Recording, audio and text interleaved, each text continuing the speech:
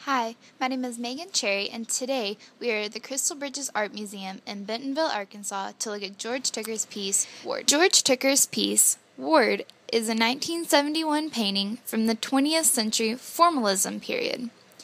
Formalism is the practice of strict adherence to stylized shapes. Stylized shapes are the emphasis to particular qualities in a painting. In this piece, I think the quality that Tooker uses is his use of lines.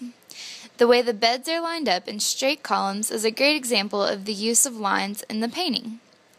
I was first attracted to this painting because it was a scene that looked like it was taken from a hospital, and with my major being nursing, I particularly liked this piece.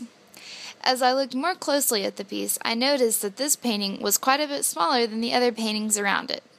This gave the painting a more intimate feeling that drew me in and gave me the chance to have a closer look at the details of the painting.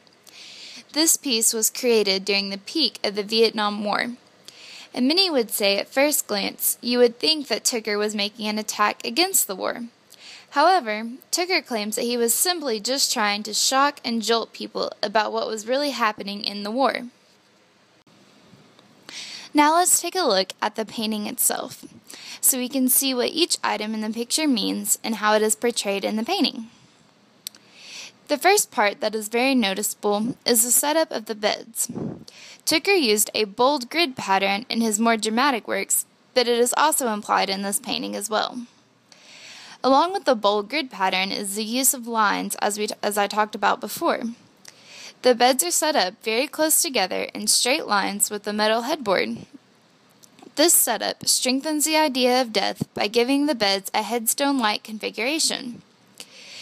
Another interesting point in this piece is that you notice the people in blue gray robes getting out of the bed have very elderly characteristics, but the people lying in the beds are all young men. You notice that the elderly are not looking at the men in the beds. They have their heads turned or their backs to the men. One is even hiding behind the curtains. The idea behind this is that the elderly are trying to ignore the fate of the young soldiers because they know that they are approaching the same fate. It is like they do not want to see what is to come for them, but rather ignore the fact in hopes that it'll all go away. Another way of portraying death is the vertically hung American flags on the back wall. They are hung as you would see them at a soldier's funeral.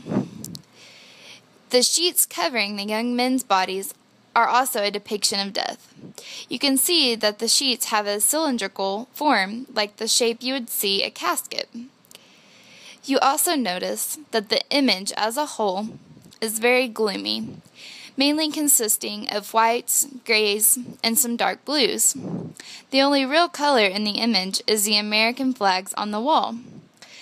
The use of colors in the image gives people a depressed feeling and made them blind to what the painting is really about.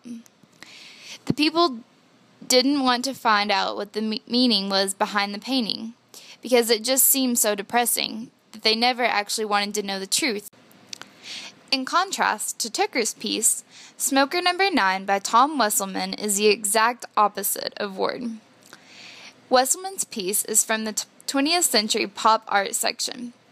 Smoker Number 9 is a collection of art that contains many different pieces, but all of the pieces contain very little variation. They are all of female lips with bright red lipstick, smoke, and a cigarette. The paintings are quite large compared to Ward.